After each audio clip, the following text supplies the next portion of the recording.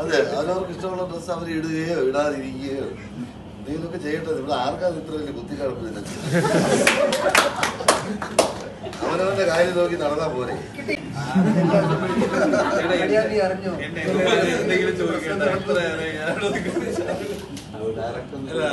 കലാമൂല്യമാണല്ലോ അല്ല അതിനെ കുറിച്ചിട്ട് നമ്മൾ മറുപടി പറയാൻ ഉദ്ദേശിക്കുന്നില്ല.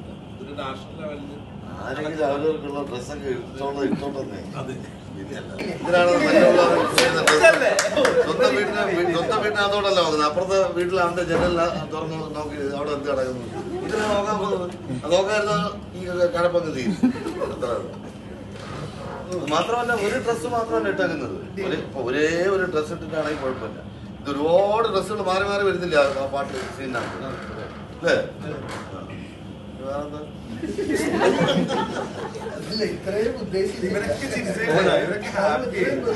അല്ല ഞാൻ അല്ല ബൈജുലേക്ക് പോകുമ്പോ ഞാൻ ഇതിലും പ്രതീക്ഷിച്ചിരുന്നു.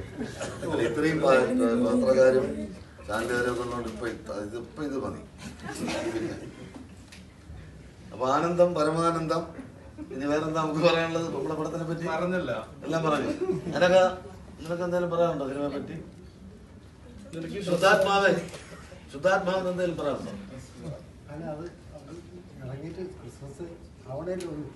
അവരൊന്നും പറയും. ഈ കഴിഞ്ഞ ദിവസം ചലച്ചിത്രോത്സവങ്ങളിൽ വെച്ച് രഞ്ജിത്ത് പറഞ്ഞ ഒരു വലിയ പട്ടിയോട് ഭൂമിച്ചുകൊണ്ട് ഒരു പ്രസ്താവന വന്ന് വലിയ വിവാദങ്ങളായിട്ടുണ്ട്.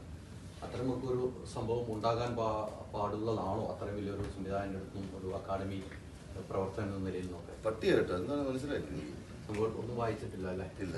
ആവശ്യമില്ലാത്തത് ഞാൻ വായിക്കാറ് എന്താണെന്ന് പറയാ ഞാൻ പറയാം. അല്ല എനിക്കറിയില്ല സീരിയസ് ആയിട്ട് പറയാം. മണിക്കൂറുകളോളം അവിടെ ക്യൂ നിന്നിട്ട്. ഡെലിഗേറ്റ്സിന് കയറാൻ പറ്റിയില്ല. മൂന്നരയുടെ ഷോക്ക് അഞ്ചര മുതൽ ക്യൂ നിൽക്കുന്നവര് റിസർവേഷന് മൂന്നരയുടെ ഷോക്ക് അഞ്ചര മുതൽ അതായത് വൈകുന്നേരം മൂന്നരക്കുള്ള ഷോ പുലർച്ചെ അഞ്ചര മുതൽ ക്യൂവിൽ നിൽക്കുന്നവരാണ്.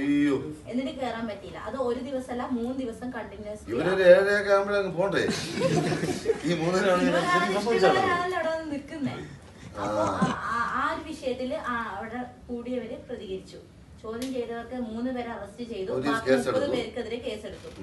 ആ സമയത്ത് രഞ്ജിത്ത് നടത്തിയ പ്രസ്താവനയാണ് ഭാഗ്യ ഭാഗ്യം ഒരു കാര്യം ഭാഗ്യമുള്ളവർക്ക് മാത്രം കാണാവുന്നതാണ് സിനിമ ഭാഗ്യനെയും കാണാം എന്നുള്ളതൊന്ന് പറഞ്ഞു. പിന്നെ പറഞ്ഞത് റിസർവേഷൻ ചെയ്തവർക്ക് മാത്രം കണ്ടാൽ മതി എന്നുള്ളത്. പിന്നെ അതിനുശേഷം പറഞ്ഞതാണ് അപ്പൊ ഈ ക്യൂവിൽ റിസർവേഷൻ ഇല്ലാത്തവരാണോ വന്നത്? അങ്ങനല്ല നൂറ് ശതമാനം റിസർവേഷൻ ആക്കിയത് സൈറ്റിൽ നമുക്ക് ഏഴര മുതൽ എട്ട് മണിക്കാണ് സ്റ്റാർട്ട് ചെയ്യാം. ഏഴര മുതൽ സൈറ്റ് ഹാങ് ആയിരിക്കും. എട്ട് അഞ്ചാകുമ്പോഴത്തേന് റിസർവേഷൻ റിസർവേഷൻ ഫുള്ള് വരും. പക്ഷെ പിന്നെ കഴിഞ്ഞ തവണയൊക്കെ ആയാലും ക്യൂ നിൽക്കുന്നവരെ ഒരു നൂറ് ഇരു ഇരുന്നൂറ് പേരൊക്കെ കയറ്റാറുണ്ട് പക്ഷെ ഇപ്രാവശ്യം കുറെ പേര് കള്ളത്തരത്തിൽ കയറിയതുകൊണ്ട് പലർക്കും ഡെലിഗേറ്റ്സിന് ഒറിജിനൽ കയറാൻ പറ്റിയില്ല. ഞാനൊരു സത്യം പറയണ്ട ഞാൻ ഇന്നവരെ ഒരു ചലച്ചിത്ര ഈ ഫെസ്റ്റിവൽ ഒന്നും ഞാൻ കണ്ടിട്ടില്ല. എന്റെ വീടിന്റെ തൊട്ടടുത്താണ് ഈ ടാഗോർ തിയേറ്റർ. ഞാൻ ഇന്നേ വരെ ജീവിതത്തിൽ ഫെസ്റ്റിവലിൽ പോകാത്ത ഒരാളാണ് ഞാൻ. പക്ഷേ ഒരിക്കലും കാണാത്തത്ര തിരക്കാര് തിരക്കായിരുന്നു ഇത്തവണ. എല്ലാ സ്ഥലങ്ങളിലും. ഈ ചാകൂർ തിയേറ്റർ എന്ന് പറയുന്ന തിയേറ്ററിനകത്ത് കൂടി പോയി എനിക്ക് വന്നൊരു നാനൂറ് സീറ്റോ മറ്റേ കാണുള്ളൂ. അവിടെ പിന്നെ നാലായിരം പേര് പോയി ചെന്ന് എങ്ങനെ കാണും പിന്നെ. അല്ല നോർമലി അങ്ങനെ തന്നെ കഴിഞ്ഞ പ്രാവശ്യം ഒക്കെ ഉണ്ടായിരുന്നത് പക്ഷെ ഇപ്രാവശ്യം എന്താണെന്ന് വെച്ച് കഴിഞ്ഞാൽ നൂറ് ശതമാനം റിസർവേഷൻ ആക്കി.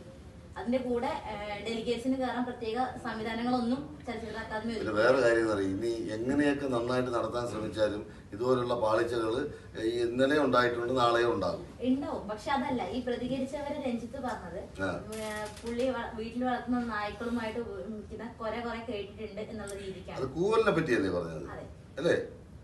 അതായത് കൂവൽ എന്നെ എനിക്ക് എന്നെ കൂവിയാൽ എനിക്ക് പ്രശ്നമില്ലാന്നല്ലേ പുള്ളി പറഞ്ഞു ഞാൻ പഴയ എസ് എഫ് ഐക്കാരനാണ് എന്നൊക്കെ അല്ലേ പറഞ്ഞേ അത് പുള്ളി പുള്ളിയുടെ അഭിപ്രായം പറഞ്ഞത് പക്ഷേ ഈ ഡെ- കാണുന്ന ഡെലിഗേറ്റ്സിന് അല്ലെങ്കിൽ സിനിമ ഇഷ്ടപ്പെട്ട് നിൽക്കുന്നവരെ ഈ പറഞ്ഞ നായ്ക്കളുമായിട്ട് ഒരുമിക്കുക എന്ന് പറഞ്ഞു കഴിഞ്ഞാൽ അതിപ്പോ നമുക്ക് ഞാൻ ഇനി എന്തെങ്കിലും കാണുമ്പം ശ്രീരഞ്ജിത്തിന്റെ ചോദിക്കാം. അങ്ങനെ അതിനൊരു മറുപടി പറയാൻ എനിക്ക് പറ്റില്ല. ഏതായാലും പ്രേക്ഷകരോട് എന്താണ് പറയാനുള്ളത്? സിനിമ ഇരുപത്തി മൂന്നാം തീയതി റിലീസ്. അപ്പൊ ഇവിടെ നിന്ന് ഇങ്ങനെ പാസ് ചെയ്തു. എല്ലാവരോടും പറയാനുള്ളത്